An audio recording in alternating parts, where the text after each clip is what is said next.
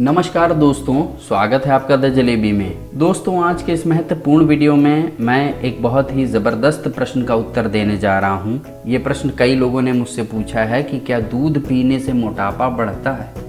जी हाँ दोस्तों, बहुत सारे लोगों को ये प्रश्न है कि क्या दूध पीने से मोटापा भी बढ़ सकता है? तो दोस्तों, मैं आपको बता दूँ, दूध जो होता है, मिल्क होता है, वो गाय का होता है, वो भैंस का होता है, वो बकरी का होता है, वो ऊँट का होता है। आप किसका पीते हैं?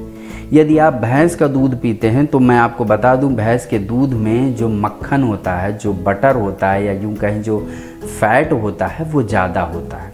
यदि आप भैंस का दूध पीते हैं तो मोटापा बढ़ सकता है, इसमें कोई दो राय नहीं है। और यदि आप उसमें मीठे के लिए चीनी ऐड कर लेते हैं, क्योंकि बहुत सारे लोग दूध पी नहीं पाते हैं ऐसे, उसमें कुछ ना कुछ वो मिलाना चाहते हैं, क्योंकि उन्हें उसका टेस्ट या यूँ कहें उसकी जो स्मेल होती है वो नहीं पसंद आती, लेकिन फिर भी वो पीते हैं।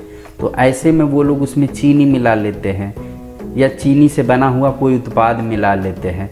तो ऐसे में मैं आपको बता दूँ, यदि आप मीठा मिलाकर दूध में पीते हैं तो दूध में एक तो फैट था, वो तो आपका मोटापा बढ़ाएगा ही। साथ ही साथ उसमें जो आपने चीनी मिलाई, वो भी दोस्तों आपका मोटापा बढ़ाएगी। तो इसलिए यदि आप मोटापे का सीधा सीधा कनेक्शन दूध से जोड़ना चाह रहे हैं तो वो उतना डायरेक्ट नहीं है जितना कि दूध में चीनी मिलाने से।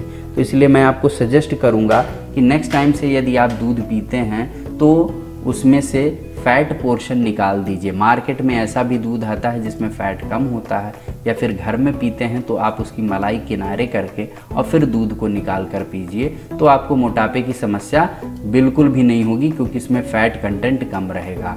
होप आपके प्रश्न का उत्तर आपको मिल गया होगा। आज के लिए बस इतना ही। इस वीडियो को सब्सक्राइब इस वीडियो को ज़्यादा से ज़्यादा भेजिए व्हाट्सएप पर ताकि अन्य लोग भी इस महत्वपूर्ण जानकारी से अवगत हो सकें। दोस्तों, धन्यवाद।